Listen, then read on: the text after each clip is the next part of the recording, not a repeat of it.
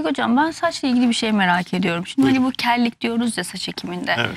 Şimdi maalesef saçlarının genelde gördüm. Tepe kısmında çoğu e, erkeklerde bir ciddi anlamda bir seyreklik var. Evet. Tüy, tüy gibi oradaki saçlar. Yani bu kişilere de yapılabiliyor mu? Ee, yani saç ekimi hani orada kıl kökü var fakat çok güçsüz. Evet. Ee, bu kişilere de uygulanabiliyor mu? Kesinlikle saç ektirmek için illa da tamamen kel olmak gibi bir şart yok. Ee, saç seyrekliğini, saç yoğunluğunu artırmak için de saç ekimi yapılabiliyor. Ee, dolayısıyla e, tepe bölgesindeki seyrenme ile birlikte yapılacak başarılı bir saç ekimi kişinin vertex dediğimiz o tepe bölgesindeki kelliği e, çok daha güzel ortadan kaldırabilecek, e,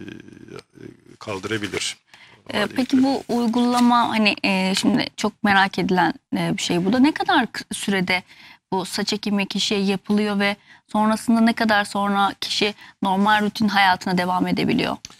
E Şimdi şöyle e, saç ekimi e, aslında bir çeşit mini- minimal invaziv cerrahi yani tek tek yaklaşık 1 milimetreye yakın punchlarla yani borularla boruları batırarak kök alıyorsunuz orada. Greft alıyorsunuz. Aslında kökü tek başına almıyorsunuz. Oradan bir adacık alıyorsunuz. Silendrik bir adacık alıyorsunuz.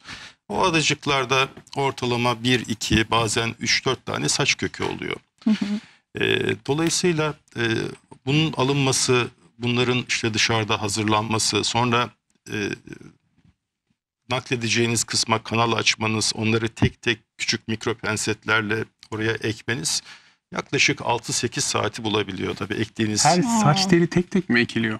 tek tek ekiliyor ama saç teli demeyelim. Biz greftler şeklinde Kök. yani adacıklar şeklinde alıyoruz. Hmm. Silindirik adacıklar şeklinde alıyoruz. İçi boş borular boru gibi düşünün. Ee, bu punchları mikromotorlarla e, alıp e, daha sonra başka yere kanal açıp e, ihtiyaç olan bölgeye ekiyoruz tek tek. Yaklaşık kaç vuruş yapılıyor ortalama bir hastaya? Kaç vuruş yapılıyor? Yani e, tabii kelliğin derecesine göre değişiyor. İşte bir Norwood sınıflaması var kellikle ilgili. 7 dereceye ayırmışlar. 6 ve 7. derecede yani ileri derecede kellikte yaklaşık 2500-3000 grefte kadar çıkabiliyorsunuz. 2500-300 grefte ama 2500 taş tili gibi düşünmeyin.